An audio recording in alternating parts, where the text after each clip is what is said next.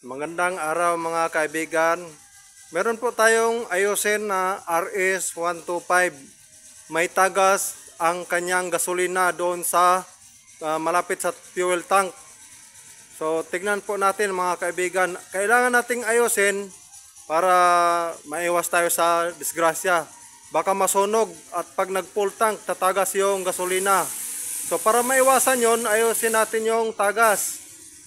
So unang gawin, yung fuel dapat nasa low level kasi magtatanggal tayo ng fuel pump. So kung titingnan natin mga kaibigan yung tagas, dito po oh, namamasa yan mga kaibigan oh.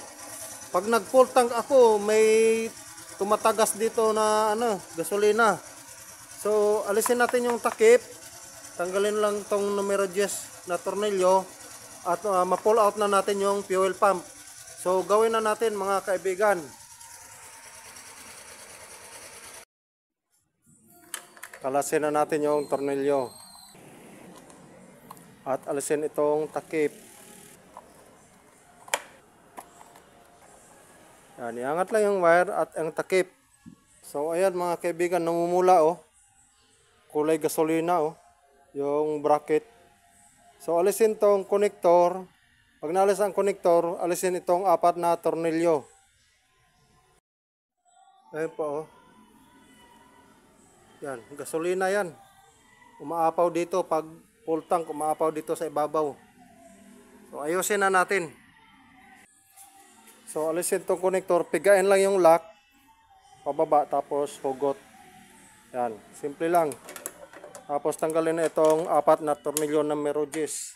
Para sigurado mga kaibigan, tanggalin ko na lang itong fuel hose supply papunta sa fuel pump. So pigaan lang yung lock, tapos hugot. Yan. Tanggalin na natin yung mga gis. Okay, naluwagan ko na mga nut. Yan, iangat na natin yung mga bracket tanggalin na. Yan. Ngayon iangat na natin yung pump. Dandahan lang.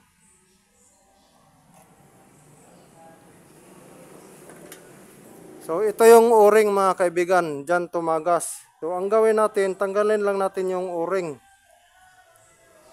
At linisin natin. Ay ilabas na natin yung kan pump mismo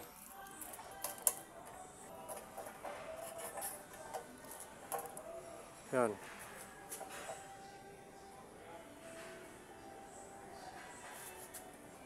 So itong o-ring ang lagyan natin ng sealant. Hugasan nating mabuti. Tsaka mo lagyan ng sealant.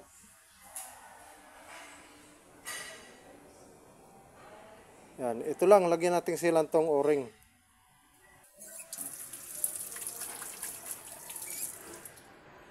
Hugasan ko lang ng liquid soap ang o-ring.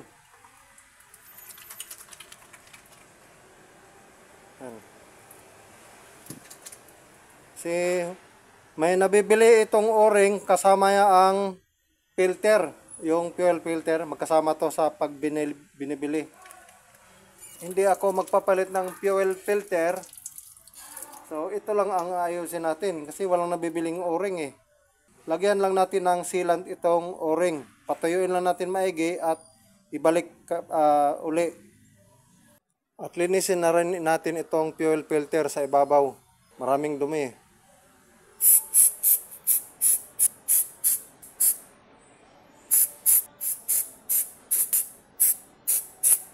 Ayan, malinis na. So itong gamitin nating sealant, Vitagre. Maganda to sa mga pang sealant itong ginagamit sa mga automotive. So, kuha lang tayo ng bahagya at ilagay natin dito sa o-ring. Yan. At uh, paiikutan natin ng sealant yung o-ring. Yan, ganyan na lang.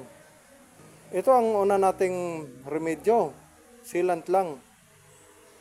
So, ilagay na natin sa fuel pump. Dandahan lang. Mamaya linisin natin yung strainer kasi nalagyan ng sealant. Pati yung oil pump nalagyan ng ah, fuel pump nalagyan ng sealant. Linisin natin yan mamaya. Ayan mga kaibigan. So ngayon, punasan natin yung napunta dito sa pump. So ikakabit na natin. At linisin din itong pag-uupuan ng fuel pump kung saan nakalagay yung o-ring. So linisin natin mabuti. Yan. At ilagay na ang fuel pump. So ingatan lang ang paglagay ha. Yan. Nauuna ang fuel cylinder unit tsaka strainer.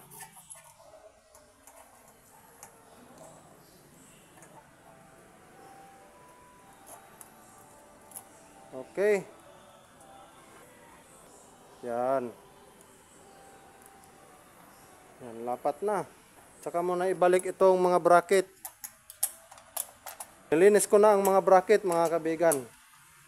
O, at lagyan na ng mga nut. Okay. O, at higpitan ang mga nut. Okay. So ikabit na itong hose sa fuel pump. Oh, hilain nyo para alam nyo na nakalakyan pag hinila, hindi mahuhugot. At ibalik na rin itong connector. Okay. At linisin na rin natin ang mga dumi sa paligid. Yan. Okay, brake cleaner lang ang gamit sa paglinis. Ibalik na ang takip. Okay, mga kaibigan, ganun lang kadali mag ayos ng mga tagas-tagas. Okay, at tornilyohan na dito. Okay. Lagyan na natin ng gasolina, full tank. I-full tank na yan. So, tignan nyo mga kaibigan kung may tagas pa ng gasolina. So, wala na, di ba? Oh, okay na yan. At ah, full tank na tayo. Oh, ah, almost full tank, pero yung sa tangke puno ng gasolina. At maraming salamat sa inyong panonood mga kaibigan. Sana nakatulong po sa inyo ang video na ito. Ah, simpleng bagay lang na paraan. Ah, maraming salamat at ah, hanggang sa muli mga kaibigan at makisuyo sa pag-subscribe sa aking channel. Hanggang sa muli po mga kaibigan. God bless po sa inyong lahat.